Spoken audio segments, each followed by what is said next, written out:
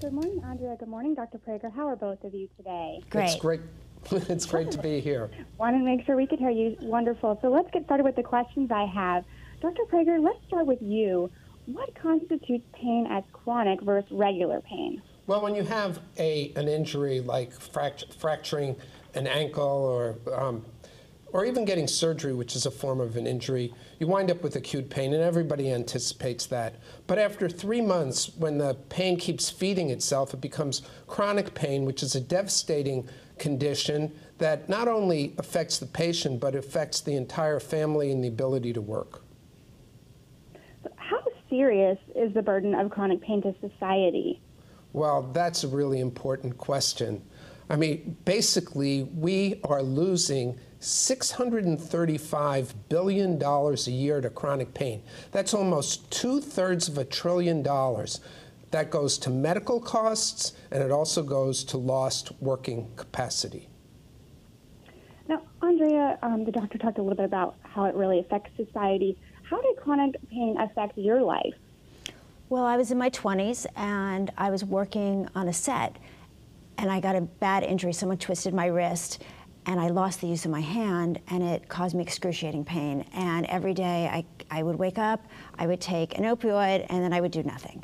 And it just kept getting worse and worse. I went from doctor to doctor, and I had two small children, and I couldn't really function. I was really couldn't do anything. And after years of going to different doctors and different therapies, I finally was referred to Dr. Prager, who suggested a spinal cord stimulator.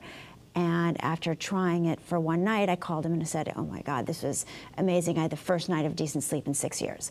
Um, and we implanted the device, and since then, my life has been a complete uh, different thing. I don't take any pain medicine.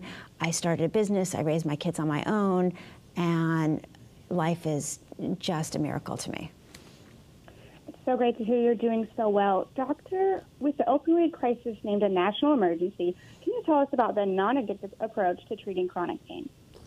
Well, we actually have a technique called spinal cord stimulation where we replace the drug fog with minute amounts of electricity. So, electricity instead of medications, and that electricity is sent to the nervous system through a, a wire that sends a, a, tiny signal that blocks out the pain signal in the spinal cord so that the pain information never gets to the brain. So not only do you stop feeling the pain, but you no longer suffer from the pain. So, Andrea, your doctor recommended you try a neuromodulation. So, can you tell us again how it has impacted your life? Well, when I was in pain, I couldn't really function. I could do the minor things of daily care, but that was about it.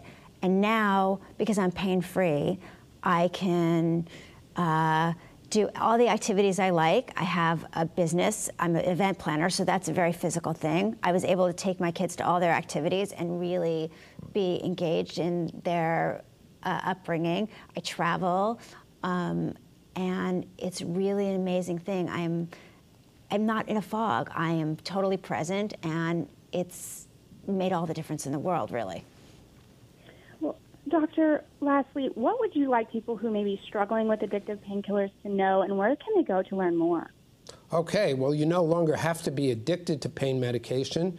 You no longer have to be in the drug fog go to askaboutpain.com. That's askaboutpain.com, a website that we set up, the Neuromodulation Society set up to provide a resource where patients not only can find out more about techniques that can control pain, but also find a list of board certified physicians who are qualified and experienced in implanting these devices that control pain.